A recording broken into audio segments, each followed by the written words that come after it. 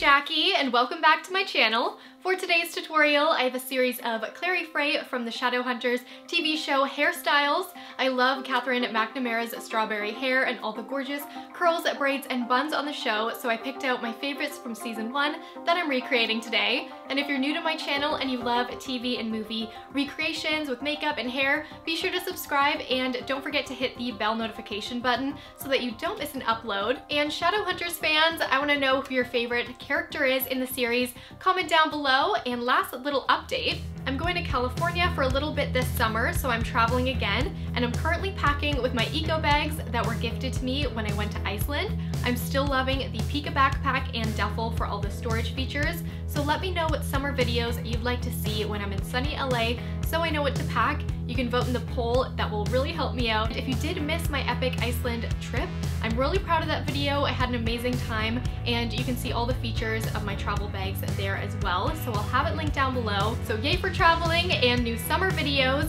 In a couple uploads, I won't have this as my background, but they'll be super fun, cool videos with palm trees. And uh, yeah, let's get started with these Clary Fray hairstyles. First style is Clary's curls for season. The looseness of the curls do vary per episode, so I'm recreating this photo to start with, and then as we do the other styles, the curls will loosen up throughout the video. Starting with my natural hair, I'm switching over my part to be just off center, dividing my hair into two, and let's start curling the bottom half of the hair. Clary has looser curls through the bottom layer to help keep the length long, and I'm using the Bellami tapered wand for this. I also use this in my Rose from the Titanic curls.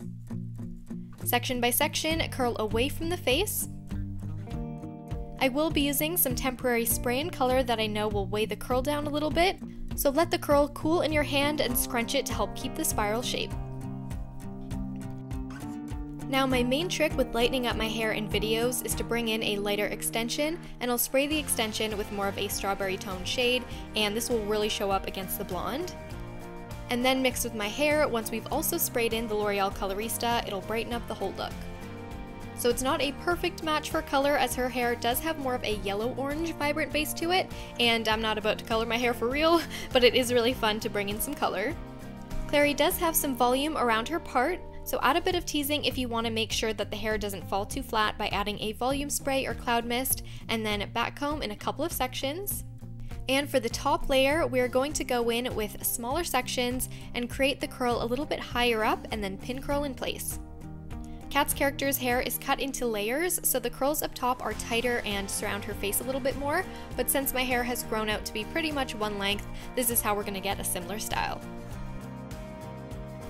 Let it cool for a couple minutes if you have time, and by the way, the hairspray I'm using throughout this tutorial is one of my favorites. It's the Marc Anthony Hydrating Coconut Oil and Shea Butter Volume Hairspray. It dries really fast and it adds extra hold, volume, and shine to the hair. Brush the very top of the curls to group that first wave together to give a polished look. And here I'm adding the Colorista spray. I do want to mention that this shade will look different on each hair type. I've really upped my saturation to bring out the orange in my hair as it is, so I'm showing more how to get the styles. The actual hair color I've enhanced with my computer, so the video just felt more authentic to watch like Clary.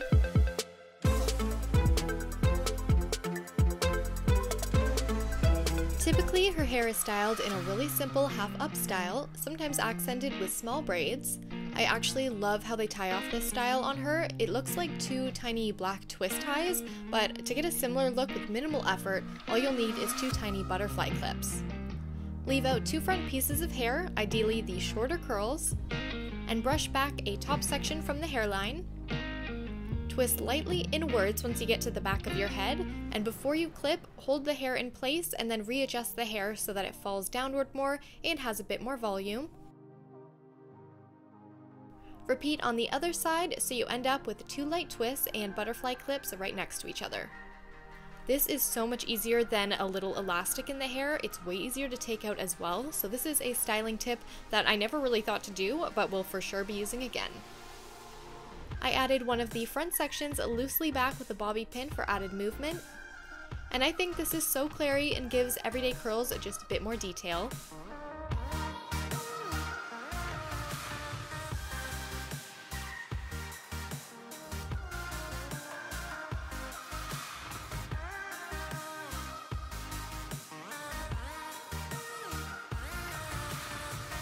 And this time I'm wearing my all-time favorite faux leather jacket from the brand Black Swan.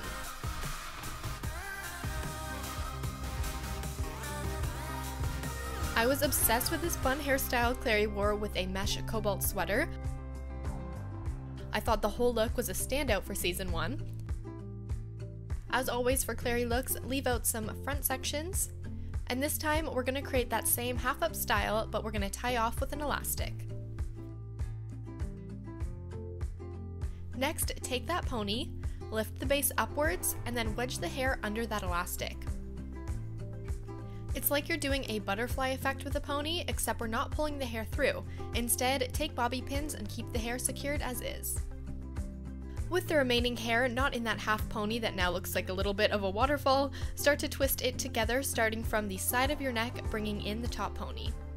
And now twist into a loose ballerina bun, pulling the ends of the bun under that top pony we created. This seems complicated when I say it out loud, but it's super fast and cute and you get this double bun effect. I left the curled ends peeking out from one side and secured with a couple of bobby pins. Shortening up the front pieces, and here's my new favorite bun to wear inspired by Clary.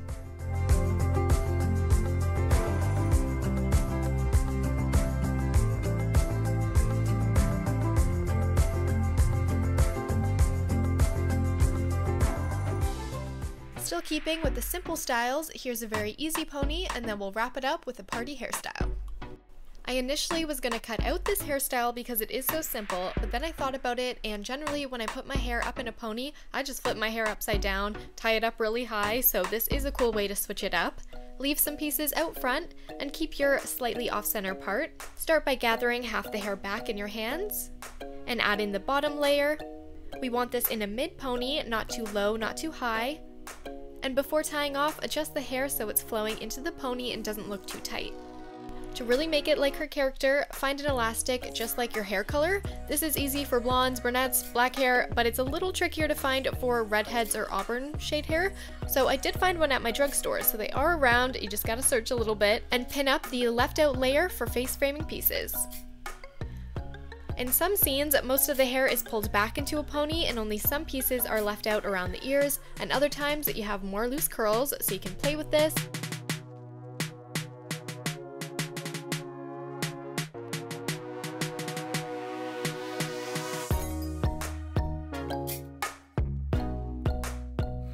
And the final look I chose from season 1 is the braided pullback. By the way, if you're still watching and want more Shadowhunters hairstyles, comment film part 2, any requests you have, and if this video is a hit, I can for sure do that.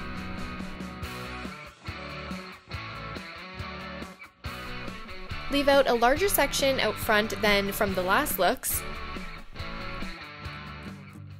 and gather the hair back like in the looks before, but this time make sure all the hair flows into a slight twist and pin where the head meets the neck, so a little lower on the head than the first half updo.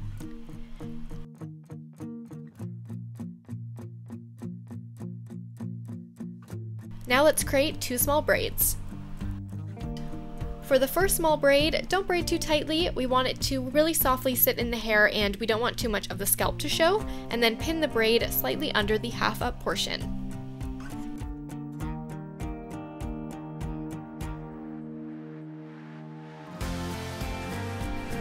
One more braid on this side. I brought in a couple of French braided strands to help the braids sit better, but it won't make a huge difference if you do a normal braid, so that's up to you. Like in the other looks, of course, leave out some face framing pieces, and pin with a mini butterfly clip so you can see the braid flowing into the twisted section.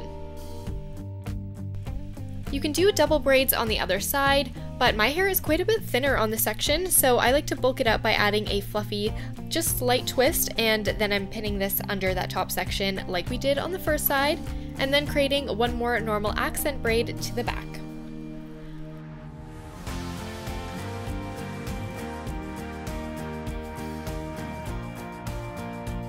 It's fun to add in some L'Oreal Colorista spray to make the braids pop out a bit more. My can was almost empty here, so I did not do the best job, but it is a really cute style to try out.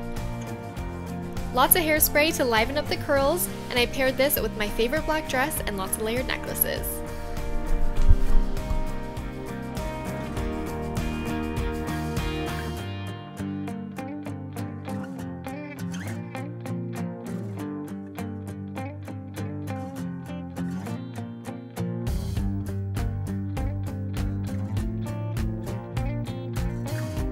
I hope you'll try out some of these Clary Fray inspired hairstyles, and if you do, please tag me on Instagram. I love to see you guys switching up your style, and I love to feature you, so here are a couple of my favorite recreation photos.